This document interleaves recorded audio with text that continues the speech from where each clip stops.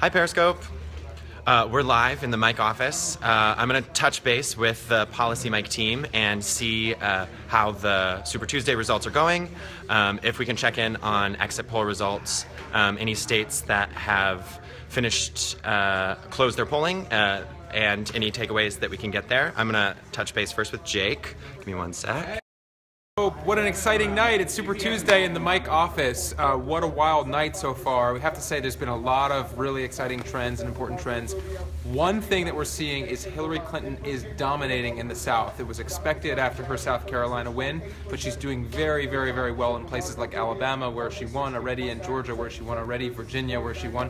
She's having a big night. Bernie Sanders won in Vermont, which was expected. It's his home state. But outside of that, Hillary is doing quite well, and polls show that she um, is doing very, very well with uh, specifically the voters really want experience and that they value experience. And so Hillary Clinton is showing in all these states that she's been able to really capitalize on that. Seven in ten voters also said that they want a continuation of President Barack Obama's presidency. So she's really capitalizing on that well, and that is one reason why we've seen her hug President Obama so tightly throughout this campaign. So that's on the Democratic side. On the Republican side, it's also been uh, a fanfare, and really Donald Trump is running away with it. Um, you know, it's something that we expected. There's been a few closer results than we expected in places like Virginia, but keep in mind he's already won four states tonight, and this guy is somebody who was not even projected to be e- even running a campaign uh, when he when he first launched. So he's doing quite well. He's winning all over the South. He's being seen as the anti-establishment candidate, and he's done very, very, very well. So that's what we're seeing. It's looking like a very, very big night for Hillary, very big night for Trump, and um, we'll we'll be watching closely. Thanks, Jake. So once again, we're live in the Mic office. Uh, I'm Joel Pavelski. I'm the director of programming at Mic. We're going to be checking in with the PolicyMic team. So leave any questions that you have down in the comments. Uh, anything about Super Tuesday or the results that we're seeing, and we'll try to answer as many of them as we can uh, from the experts that are working on the results right now. Hold on, I'm going to check in with Luke. Hey, Hey, Luke. How's it going? Good. Um, can you talk to me about the things that we're seeing with the establishment voters in the exit polls in the South? Sure. So I think what we're seeing is that there's broadly on both sides of the aisle a very different dynamic. On the Democratic side, people want experience, whereas on the Republican side, a strong majority of voters in the South are saying that they want a political outsider. And that's why you're seeing Donald Trump sweep these states. He's never held elective office, he's never run for elective office, and he's dominating in those states and beating out his competitors who have been in politics for, for decades or years. Let me ask you a question that we just got from a Periscope user. How much do superdelegates matter?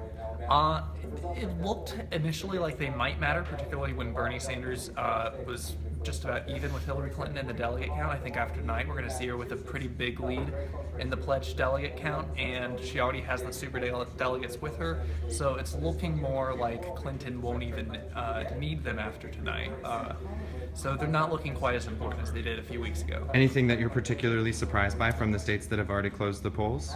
Uh, I'm not necessarily surprised, but I think it's worth noting that the race on the Democratic side is still too close to call in Oklahoma, still too close to call in Massachusetts, which is something of a silver lining for Bernie Sanders because he really needs to win those states to show that he can win more than just his home state tonight.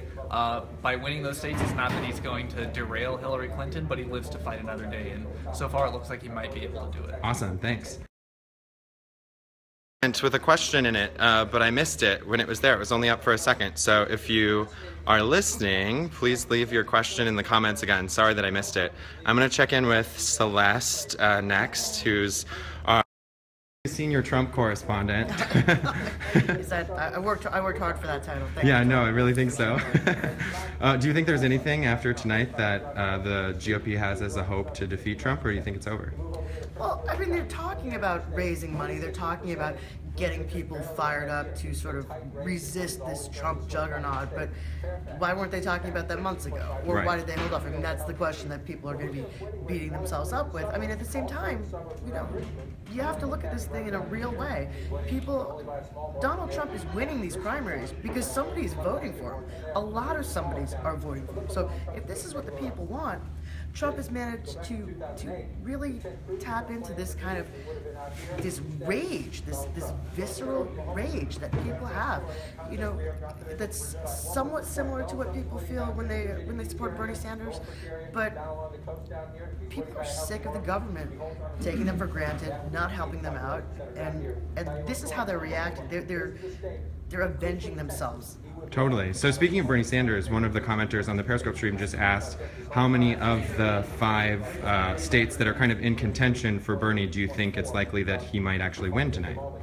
I mean, if you're if you're looking at southern states, um, you know, Hillary Clinton has a lot of support from African American voters. That has been a you know traditional bulwark of the, the Clinton uh, campaigns, and I think that that will prove true tonight. You know, obviously it, it enjoyed a uh, home field advantage in, in Vermont, but we're still waiting for the rest of the states to shake out. Okay, one last quick one Sure. from the comments. Sure. Um, uh, somebody asked, uh, will the GOP split? Uh, will the GOP split between the, the pro-Trump and anti-Trump forces? I think it already has. I mean, the party, the job of the party ultimately is going to be to support whoever gets the nomination. Now, if people look at the Republican nominee and they're like, "Oh my God, we can't have this person," you know, somebody else might mount an independent campaign, or people might throw money into stopping them. But ultimately, somebody has to represent the party in November. So Totally. is it wiser for them to, you know, ultimately get together and, and make a decision, go forward in, you know, in unity? Oh, thank you. Okay, thanks, Celeste. Thanks. Hi, Madalika. Say hi, to Periscope. everybody. Hi, Periscope. What you- See, it's we're keeping it real here at Mic. I had no idea that I was just walking through a live broadcast on Periscope, but I did. and you can see, but she's wearing awesome tights. No, so, it's true. Oh, anyway, but we're focused on the election today. It's going to be crazy. Tune in later. Facebook, 9 o'clock, live. Be there. We're live on Periscope uh, in the Mic office. We're checking in on Super Tuesday results. I'm going to ask Stefan. Senator. Hello. Hey, so which states have closed so far? What polls are we actually Uh, confident of? So uh, we have, uh, let me pull it up here: uh, Alabama, Georgia, Massachusetts, Oklahoma, Tennessee, Vermont, and Virginia. Uh, Oklahoma is the only one where you, it's too close to call for both sides. Uh, Massachusetts is too close to call on the Democratic side, and for the Republicans, it's Vermont and Virginia, which are still close races.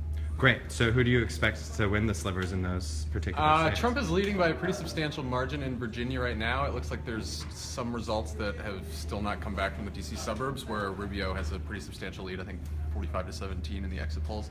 Uh, so it seems like the news organizations are waiting on getting more from the suburbs to make the call in Virginia.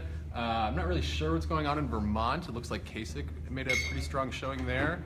Uh, I'm not sure the latest numbers, but oh, it looks like he's about eight points behind Trump, but it's very early with only. Do you think it's 3%. going to be a drawn out night, or do you think we'll kind of know really soon after the polls close across most of those states? Uh, hard to tell. It seems like it will be closer than maybe we anticipated, but uh, it's still very early. So, Great. Thanks. thank you. Hi, guys. Uh, just to remind everybody, we're uh, live on Periscope from the Mic office. We're checking in on Super Tuesday results. Uh, I'm going to check in with Zeeshan. Hi. Hey, how's it going? Good. You're kind of our exit poll master tonight. Is there anything in particular that you're seeing that's surprising? Um, well, as far as some of the trends that we were seeing earlier in the night, we're still seeing as far as like really high turnout among black voters in the South. Um, generally speaking, there haven't been huge sorts of demographic surprises uh, as far as who's kind of sort of leaning towards a Trump vote. But I mean, there's not really um, anything that's kind of uh, been jarring or defied our expectations on that front. Okay, sweet. Thanks a lot. Tuning in, everybody. We're going to be live on Periscope pretty much for the rest of our lives. So keep uh, your notifications turned on. Uh, follow us, obviously, at Mic News on Twitter, uh, and we'll keep the updates coming. Talk to you later. Bye.